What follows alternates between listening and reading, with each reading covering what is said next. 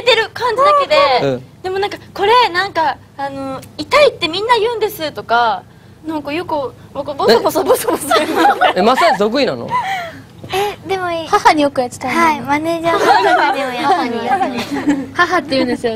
お父さんとかお母さんのこと。父母父って。言ういいよいどうなの？グループ内で佐藤のポジションはどうなの？いやー大変ですよ。大変。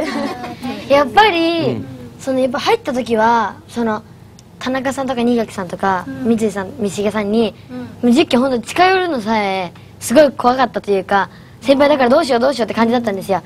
で挨拶するのがやっとだったんですけど普通に朝から「田中さん!」とか言って 入って2日目ぐらいから最初は多分先輩たちも「え？っ?」て感じだったんですけど、うん、結構まさきちゃんがいたおかげって感じがあります。その私たちが先輩と仲良くなれたのが。10期も他のメンバーと近づけたと、はい。佐藤のおかげで。まさきちゃんとか10期が入ったおかげで、今まで以上に先輩に長くなれた。はい、きっかけな感じではあります。いいやんかやっぱり。でもたまにあれ行き過ぎじゃないっていう時が。いやでもそれ芸能界それぐらいないとあかんねんって。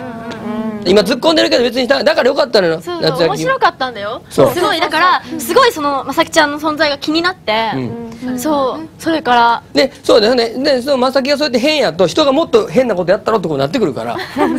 変なことって変やけどそうテンション上げていかないと負けちゃうから、それはハローにとっていいことやねんだから、どうなるんだろうって思うようになりましただから、将来がね。そう、多分あの妹がいるんだよね確か、はい今だからここに来た時にお姉さんたちがいっぱいいるから、こう甘えたいあそれはあるよ。のが出てきてるのかなとか思ったんですよね、うん。意外に詳しくない？詳しい。好きなんじゃん。だからやっぱ気になってんねんって。気になるんですよ。だから今度逆にお前が回ってきてハッピーって後ろで肩もんだったよねお前とまさきに。その時にまさきがどんなこと言うかや。んどんなリアクションするかによって。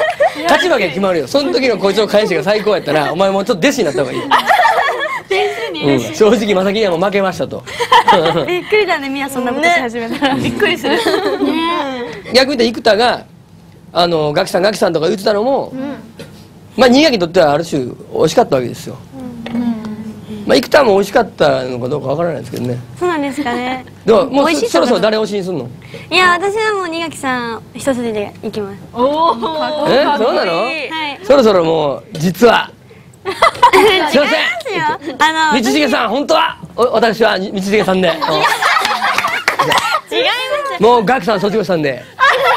違いますなんか 私がその推しメンにするメンバーって、うん。なんか卒業していっちゃううん。みたいな感じになっちゃってるんですよ今、うんうん。今の。だったらいいやけど道重さん嫌です